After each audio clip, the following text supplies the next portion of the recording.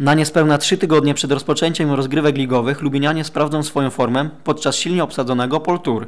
Dobry wynik pozwoli w dobrych nastrojach rozpocząć nowy sezon. Poltur w Kęczynie będzie to taki turniej e, sprawdzający przed tą ligą. Wiadomo, chcemy jak najlepiej zagrać, bo żeby się dostać do Mistrzostw Polski, tam powalczyć o medale, ale raczej traktujemy ten turniej już bardziej na luzie, tak? Y, Pojechać, dobrze zagrać, y, posparować z tymi najlepszymi zawodnikami w Polsce.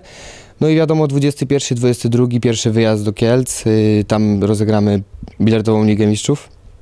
Y, W tym roku będzie to się nazywało bilardowa Ekstraklasa. Turniej z cyklu Pol Tour odbędzie się w Kętrzynie.